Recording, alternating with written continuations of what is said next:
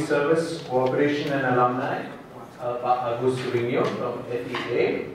Uh, he's going to uh, give us the perspective on publishing articles in index journals, which as you know, has become a requirement now with uh, uh, Ristek Dikti, Kementerian, Kementerian Ristek Dikti in Indonesia.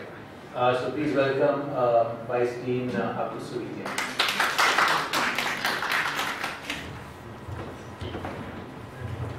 Thank you very much, uh, Chandra. And um, uh, this is a, really a, a questions uh, of, uh, of the types of journals that we uh, are required to publish uh, our articles in. And in Indonesia, it does matter. And, but here I am intrigued by the questions whether an index journal is also a reputable journal. So there is two different, you know, different, you know, uh, uh, I think, uh, uh, uh categories of, of, the journals. And so I will start with problematizing this issue first, then coming to more, you know, more case case-based analysis of several, you know, experiences and also observations. So in the Indonesian Dikti's criteria, the so-called reputable journals, Jurnal Internasional Reputasi, are those journals that are indexed and particularly by uh, Scopus and Thomson Reuters.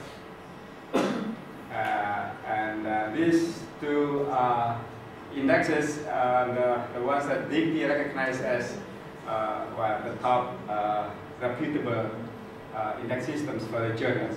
But it is also very important to note that there are at least 11 journal indexes uh, recognized by Dikti, and here I can show you these 11 uh, journal indexes that Dikti recognizes. So uh, Thomson Reuters uh, is being the first, and then and the second row is Scopus, of course, and then until the one button that's Google, Google Scholar. So even if you publish uh, in a journal that is indexed by Google Scholar, actually, actually it is already uh, in an index journal, and according to the uh, what's it, the uh, criteria of Dikti, then this is already a reputable uh, publication uh, you make. Right? out of the 11 indexes, the, journal, the Dikti, however, uh, take the top two only as as uh, ridiculous as the the indexes that will bring you to to the so-called academic achievement again according to uh, uh, criteria. So where the other uh, nine indexes are just there as a list, uh, and then uh, this is against uh, Dikti's own uh, criteria of, uh, of a reputable journal. But again, uh, to be back to the first questions, uh, index journals reputable journals. This is through the questions that I don't think Dikti ever, ever thinks about it, right? Let's take a look at these examples, right? You, you know, of course, right? the one on the, the picture here, the, the very colorful picture is, of course, uh, the journalists that the, the we, we know very well, that is Indonesia, based in Cornell. And I don't think anybody here in this room dares enough to say that this journal is not reputable, based on several criteria of its own. But Indonesia is not indexed in the Scopus. So according to Dikti, if you publish in Indonesia, your article is not published in, any, uh, uh, in a reputable journal because Indonesia is not indexed by Scopus. Right? And let's take a look at the other picture on the left. That is Mediterranean Journal of Social Sciences. Right? I don't know whether you know this journal, but this is indexed by Scopus. Uh, and again, according to Dikti, this is a reputable journal. Okay, and but let's take a look at the in the, uh, the Mediterranean Journal of, uh, uh, of Social Sciences here. Right? I did a survey on the journal and this is what I get. Unfortunately, I did it uh, only a couple of months ago and I wrote it uh, in Indonesia. So this is more or less the, the identity of the journal, which is based in, in Rome actually. The address is in Rome, and so on and so on. And until 2016, the publisher was Mediterranean Center for of Social, uh, Social and Educational Research. But then the publisher moves to De Gruyter, I don't know where uh, based, maybe in the Netherlands. Okay, this is the coverage of the journal. So, so broad, so broad and uh, all areas of social sciences are technically speaking covered by the journal. Truly, truly broad. Okay? And then let's uh, have a look on the articles that have been published by this journal. Right? And this journals, and this journal has uh, has six, uh, six uh, numbers every year. It's, it's published in January, March, May, July, September, and November. And, and we see here, in actuality, the, the number of the publication uh, per year is much more than, than six uh, numbers, right? This is the regular number. They have more special issues number uh, than, than the regular number, right? And this is uh, regularly they, they should publish six, six uh, what's it, uh, volume every, no, six number every volume. But in actuality, they have, uh, see, this is the, the what's it, the um, special issues of the same volume. Right? So they have much more. And, and also, uh, this journal published so many articles per number per, per issue. They, they, they had 47, for example, here, uh, titles in one, one issue of the journal. And altogether, in 2016 alone, this journal uh, published uh, uh, 355 titles of articles in the six regular uh, volume, while there were some additional 408 titles of articles in the nine special issues volume. So altogether, they published in one year alone 6,000, more than 6,000 uh, 6, pages of, of articles. And uh, the peer review process uh, uh takes it about a week per article.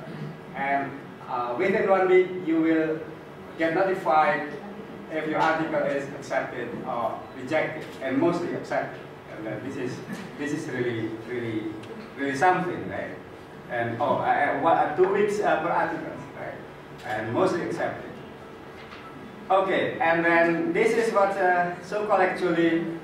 Um, uh, well, I don't know whether this is predatory journals, uh, just like what Paul Kratoska said today, but this is truly a journal that we have to be doubtful about uh, its reputation, I would say, right? And then, and this is just one example, and uh, and uh, uh the case that index journal is not necessarily, it's not always a reputable journal in this this case, and and and we have to differentiate between the two. So the question would be back to us whether we are we are intending to publish in a, an index journal or in reputable journal or in a reputable journal that is indexed. Questions. of course, the motivation will be much more. Where you get your article published in a reputable journal which is indexed from an Indonesian perspective, right? But for those living outside of Indonesia, then maybe just don't care about the indexing, right? But that is that happens as well. In Germany, for example, people just don't care about whether the, the, the journals are, are, being indexed in the Scopus or whatsoever or not, as long as they get the articles published. okay. So um, so what is then a reputable journal? So I try to something like uh, uh, drag some uh, criteria based on the uh, processes of uh, journal management and of course first thing first is the peer review process and I think uh, Uh, the previous two uh, speakers have uh, touched uh, this uh, issue in very detailed way. Uh, but peer review is, is a must in a, in a journal life so that the articles published are really, you know, accountable academically and then really has, you know, the, the, the quality of, of, of, of, of scientific quality. The second thing is the editorship, or I mean the editorial side. So consistency in the number of articles, for example, and something like on the management of the journal, and whether it's published regularly, whether uh, there is some, you know, uh, also consistency in the, in the, in the, for example, styles of publications and so on. And, and also the third point here is not maybe we don't really pay attention to this, but a reputable journal, the more reputable a journal is, the less that it will, uh, the less likely that it will you know, accept any publication. So normally they have a relatively low rate of acceptance. And, and I just show you another here, another case, uh, and you can think of, uh, uh of whether this journal is quite reputable in terms of the articles they they have uh, selected for publications or, or, or, at least we can estimate the, the level of, um, of reputation of the journals. This is not a journal and we can check, uh, check the, uh, what's it, a number of accepted and rejected articles submitted to journals. The journals is International Journal of English Language and Literature Studies. So the rate of accepted articles uh, it's almost the same as as uh, the number of the rejected ones, and it's been for some I don't know how many six uh, the last six years. So and this is indexed in the Scopus. Right? The syllabus is also indexed, and then and and we can we can estimate we make some estimations about uh, the process of also peer review uh, of the journals right? And of course, uh, this is something that that also we have to consider, right? And then let's see.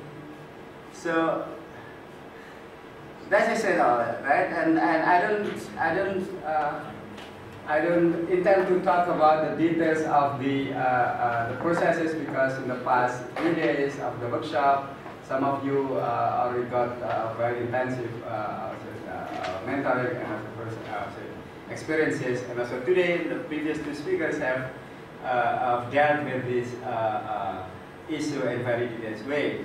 And I'm just trying to show you here more or less the process.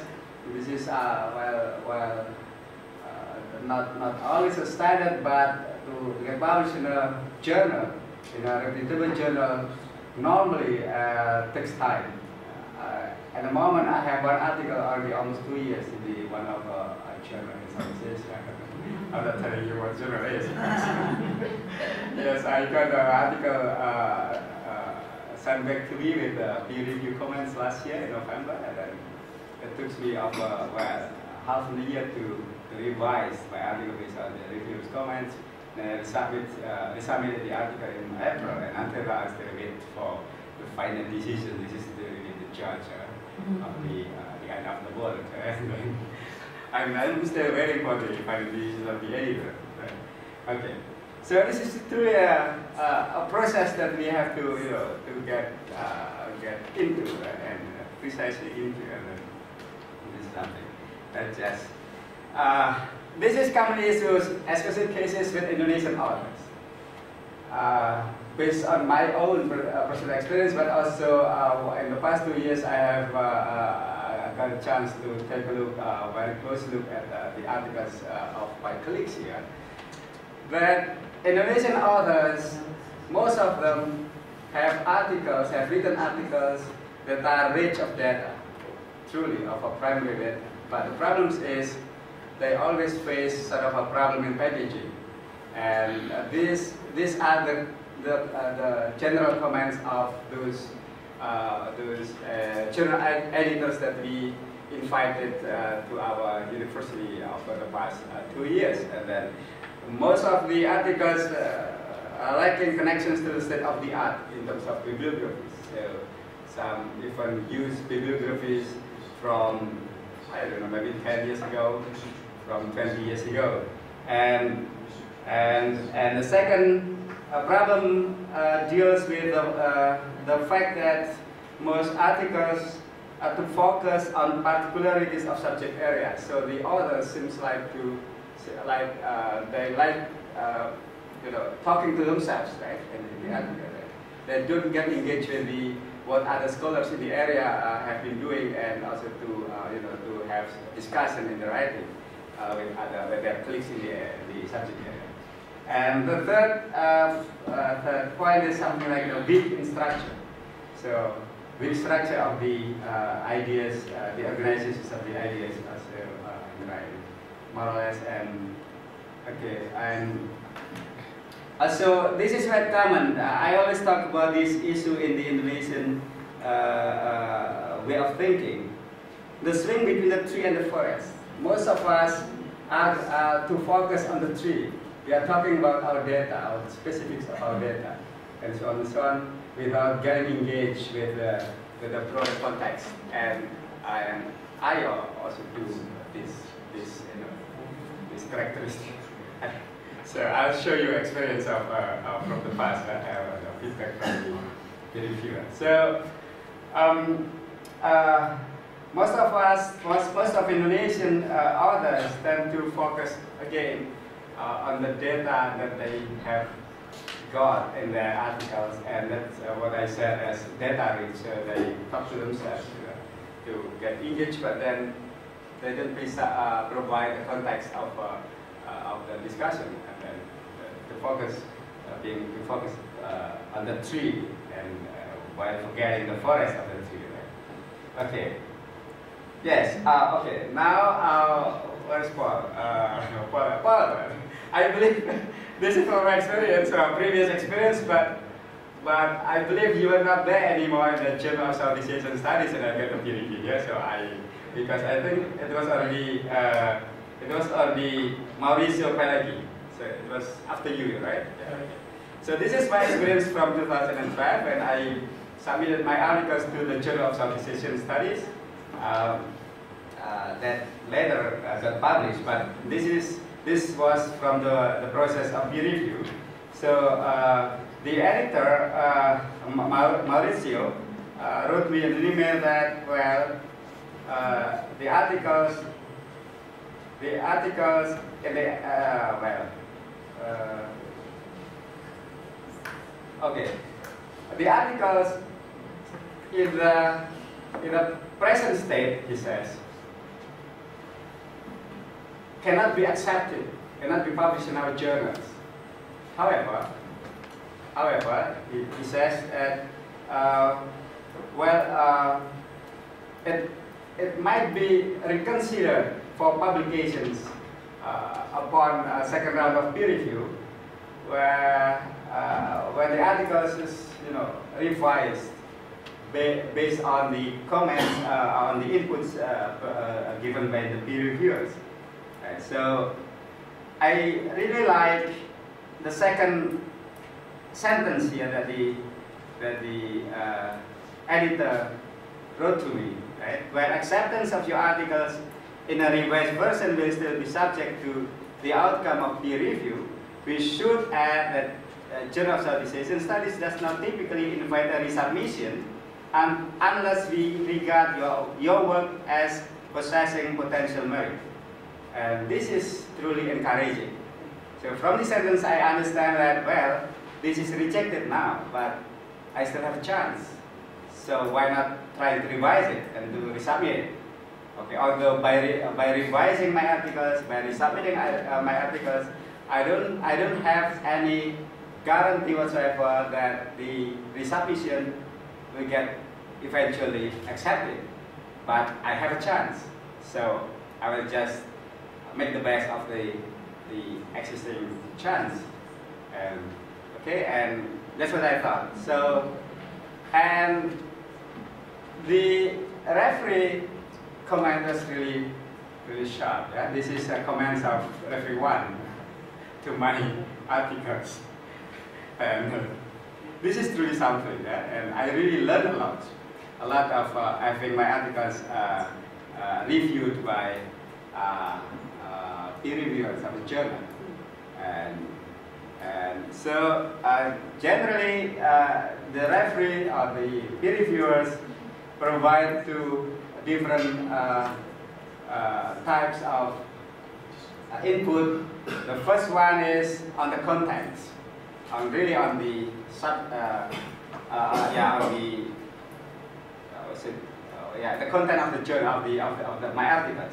And the second type of the comment is on the well, on page by page and line by line, even sentence, even even a, even a, uh, phrase or even language as well, right? And then this is also something where uh, uh, I, I learned a lot, right? And then, okay, and yes. And this is the second referee to my articles, right? And then they, they provide me with uh, also with very uh, interesting, very useful, and very critical comments. But I once again learned uh, a lot from this process, and uh, uh, and then I struggled hard uh, to revise my articles, and it was eventually published uh, in, uh, in 2013. And then, uh, uh, and but this process really gives me, uh, you know, a chance again to to learn from from from other people. So when I uh, have completed writing my article, of course I think everything is already clear. So I have, I have put all what I think, what I know, what the, all the data I have, and all the arguments that I would like to present to build in the articles, and I, because I'm sure, I'm sure that this is already clear. But that is my, my perspective when I have my article uh, read by other people, then other people might have different angle, different, you know, much fresher opinion, a much fresher look at uh, uh, what I have uh, presented in my paper. So this is why peer review is a key to to a refutable and also a quality article. So unless your article is is, is uh, sent a peer review process, then uh, it is quite questionable whether uh, uh, uh it will be, you know, it will provide sort of accountable account of the of the ideas you present, even if it is published. Right? So the key to reputable publication would be peer review.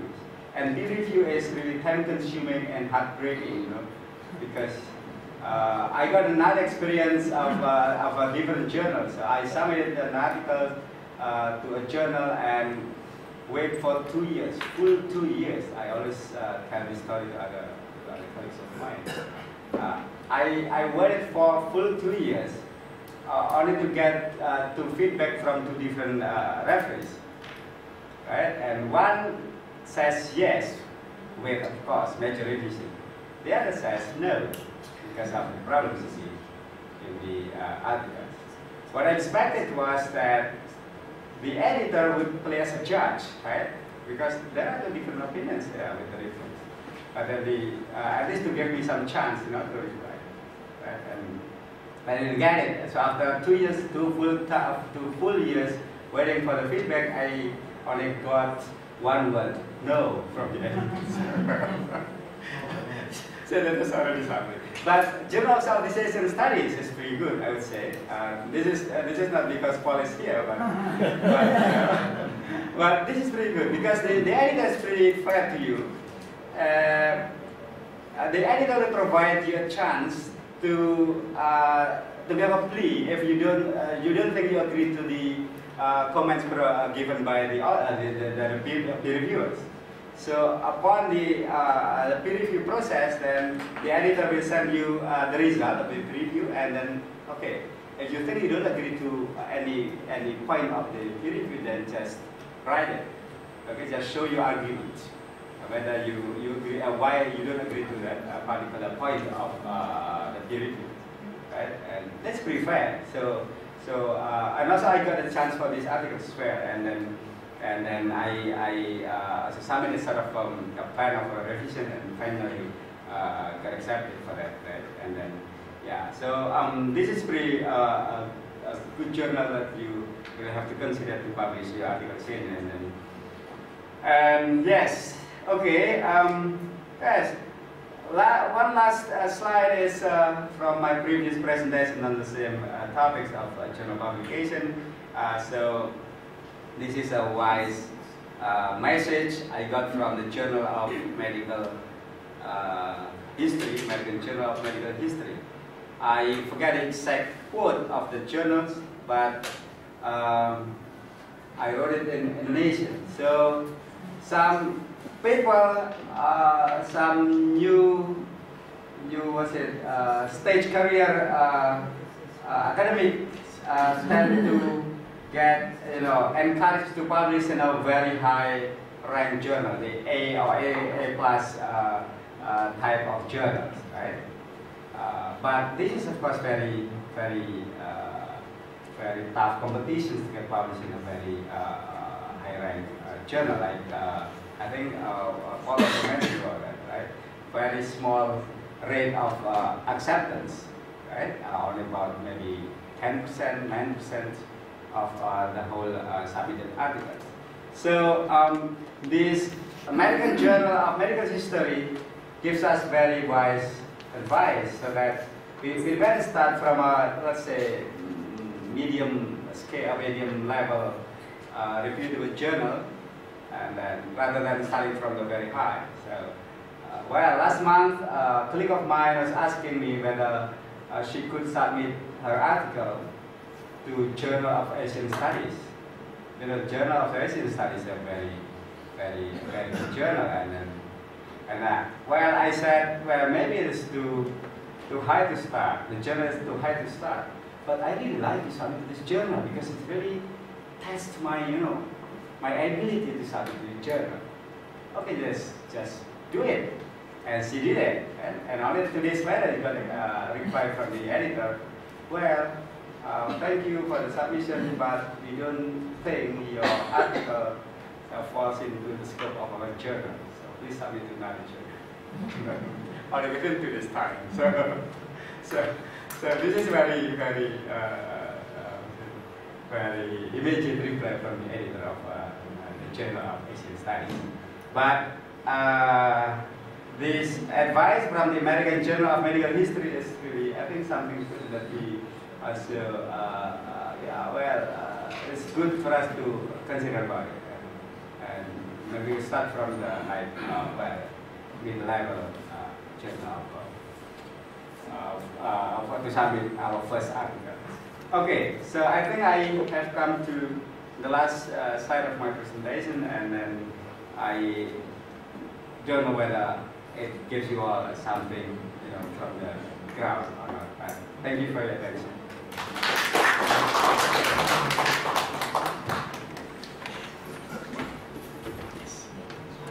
Thank you, Pa Agus for a very interesting presentation also for opening up and sharing with us your own personal uh, experiences, both of pain but also of happiness. Um, uh, so what we'll do now is we'll move to our uh, roundtable discussion. It's not a roundtable, but I, I, think you know what I mean. I'm going to invite a few people to come up to um, uh, the front. And I think we have seven, six chairs? Okay, we bring another chair up. Um, we're going to have seven people come and, and, each of us brings, I think, a slightly different perspective. Um, and what we'll do is we'll start off with uh, a little bit of a discussion and then we'll open it up for everybody so we can have a, a larger group discussion. So I, would like to invite uh, uh, Dr. Paul Kratoska. Um, we also have two colleagues who um, were mentors in our earlier workshop